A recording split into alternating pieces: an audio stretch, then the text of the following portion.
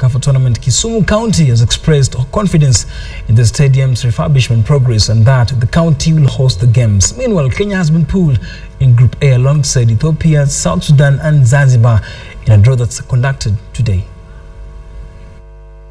We can't confirm Kisumu because they, are, they, are, they, are, they haven't quite finished uh, the stadium. After this statement from Football Kenya Federation, Kisumu County has now upped its game in readiness for hosting the CECAFA tournament that will be kicking off in the country from 27th of this month. Machakos, Nairobi and Mombasa counties were the three counties to host the tournament, but Kisumu's slow pace of refurbishing the stadium was notable, but the county government is upbeat of completing the works on time.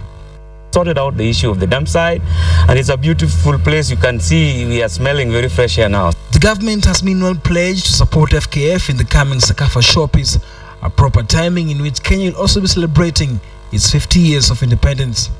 If there are any other things that we need to wrap up in terms of making sure the players from all these neighboring regions come and enjoy the kenyan hospitality to its fullest machakos we are ready.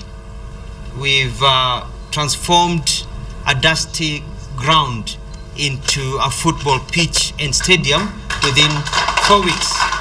Last year, we said no, we will not do it because we were preserving this edition to happen when Kenya is at 50. Meanwhile, the national soccer team Harambee Stars will kick off the 2013 CECAFA campaign against high-rating Ethiopia on 27th of November. Kenya has also been pulled along alongside Zanzibar and South Sudan. In Group B, Tanzania will welcome guests Zambia, Burundi and Somalia. Group C will be an exciting affair with Uganda, Rwanda, Eritrea and Sudan facing each other. And that's sports.